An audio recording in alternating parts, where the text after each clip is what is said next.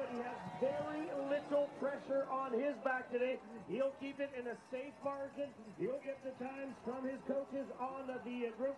But the good thing is these two guys on also time between them and two Sets behind.